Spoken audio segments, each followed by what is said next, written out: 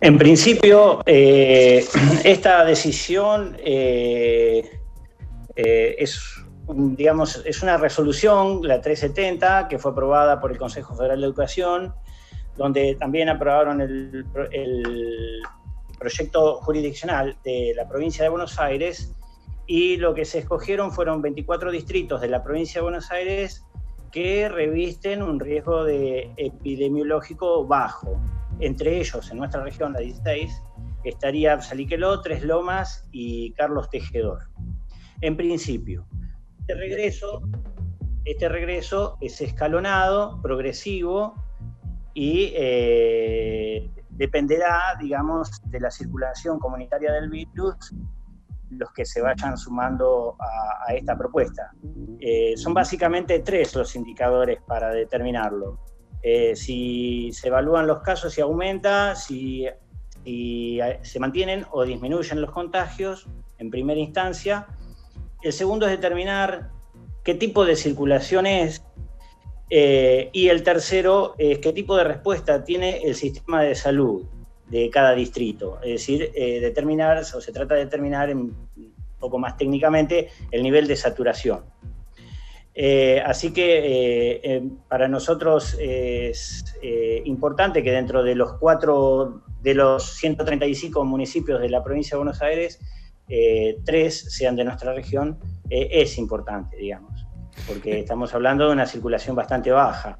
Estamos muy distantes de ser lo que es ya la zona de, conurbano, del AMBA o, digamos, la parte este de la provincia de Buenos Aires. Eh, Gerardo, ¿a partir de cuándo eh, se comenzaría a dar esta situación y, por supuesto y lógicamente, estos distritos ya deben estar trabajando en los protocolos? Por supuesto, eh, en esta semana ya se dio comienzo a las acciones, en el día de mañana empiezan los tratamientos en la UEGD de cada distrito, eh, son muchos los actores que intervienen y que tienen que articular.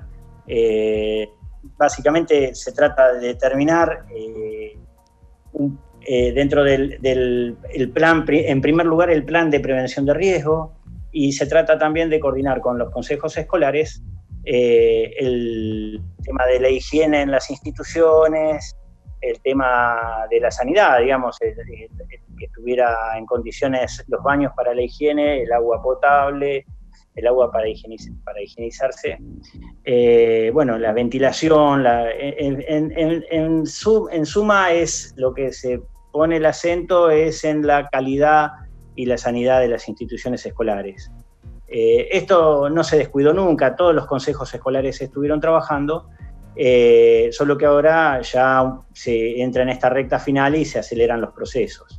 Eh, quizá hay algunas dudas en torno a quiénes van a comenzar eh, esta etapa gradual a asistir a las aulas. ¿A quién va dirigido el programa? Exactamente, en primera instancia, ¿no? Porque esto va a ser de manera gradual, pero eh, muchos padres todavía se están en la disyuntiva y en la duda. Exactamente. en este caso empezaría únicamente el nivel de primaria y secundaria en esta primera etapa, en esta primera etapa, se van a ir sumando después, eh, los sexto años de primaria y de secundaria. Para todos aquellos, en, este orden de prioritario, digamos, los que estuvieron desconectados de las instituciones escolares por alguna razón, eh, luego los que tuvieron alguna intermitencia, que estuvieron desvinculados parcialmente, y en tercer lugar, los que estuvieron vinculados pero que no pudieron hacer devolución de sus tareas y eso se vio interrumpido.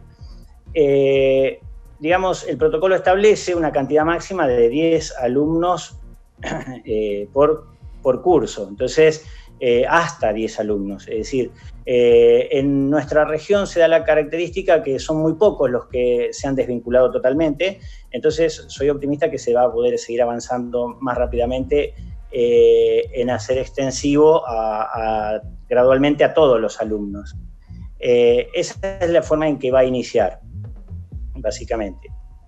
Eh, consultarte también sobre la evaluación que hacen desde las autoridades de estos siete meses de pandemia y los resultados de la continuidad pedagógica.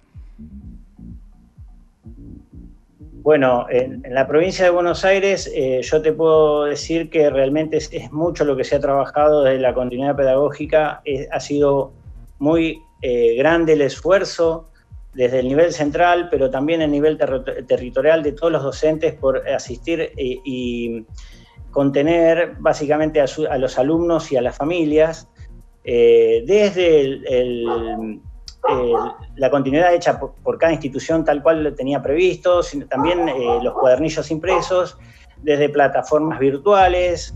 Eh, básicamente eso ha sido paliado de manera muy efectiva.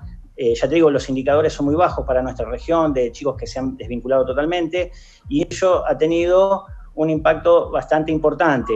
Sin embargo, sabemos que eh, no es suficiente y que la presencialidad eh, es irreemplazable. Por eso se siguió avanzando en este tipo de propuestas.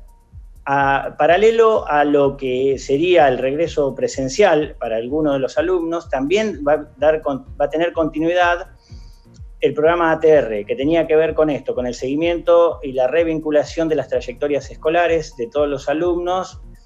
Eh, se va a reforzar en este sentido con un programa especial y eh, también eh, está bastante avanzado e, y ya en ejecución las aulas eh, virtuales del Bicentenario.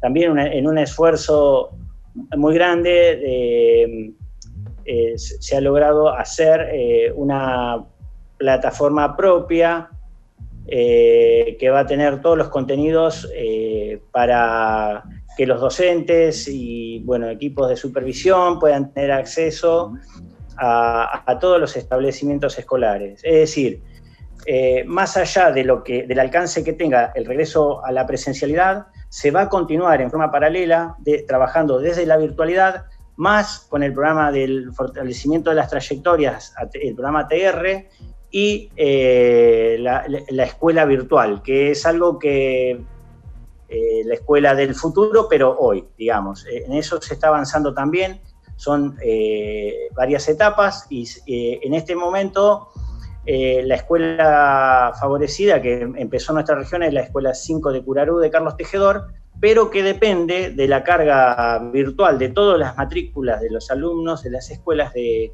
la región 16 para que en la próxima quincena también vayan empezando las demás instituciones.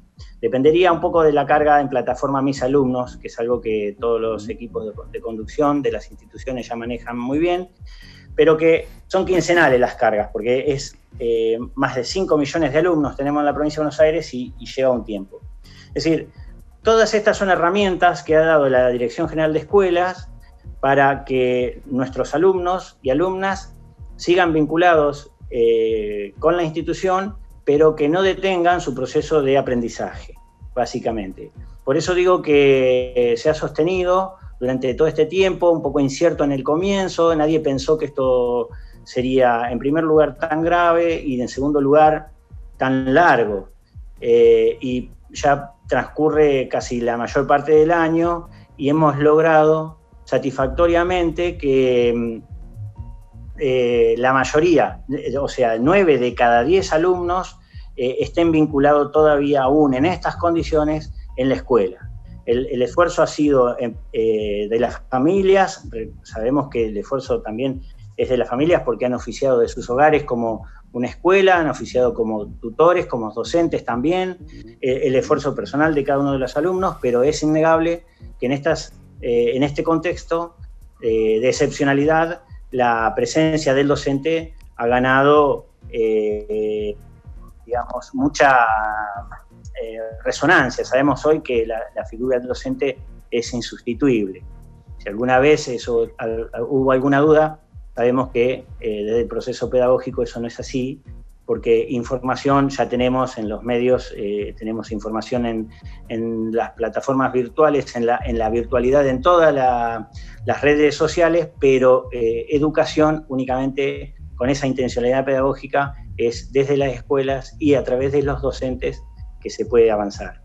Así que eh, yo estoy muy satisfecho y hacer extensivo este, esta felicitación a todos los docentes de la región 16, realmente han hecho esfuerzos eh, tremendos para sostenerlo. Eh, la jornada de un docente eh, dejó de ser de cuatro horas o de cinco horas o lo que normalmente tenía para estar 24 por 24. Eso, eso sabemos que la, gente de la educación, los trabajadores de la educación se han puesto la camiseta, por decirlo. Yo vengo de la educación física, disculpen la terminología, pero sabemos lo que significa.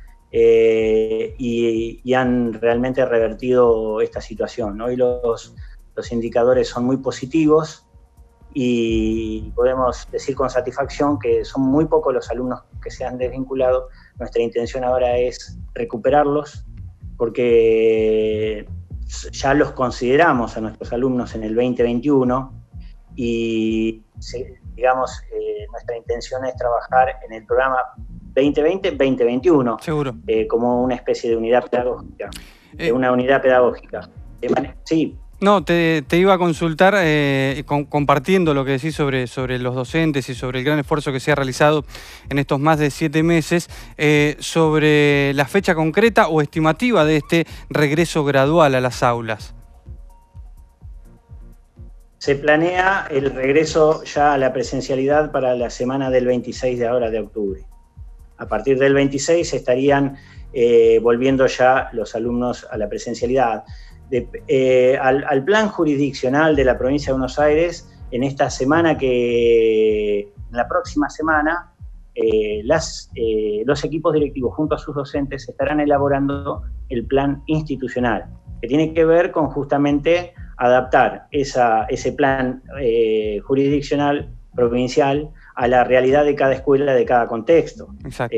porque, exacto, en eso, en eso se va a avanzar la semana próxima y ya a partir de la semana del 26 estaríamos este, ya dispuestos a recibirlos y ya cada uno eh, trabajar y ir avanzando en la agenda de, los, de las respectivas instituciones.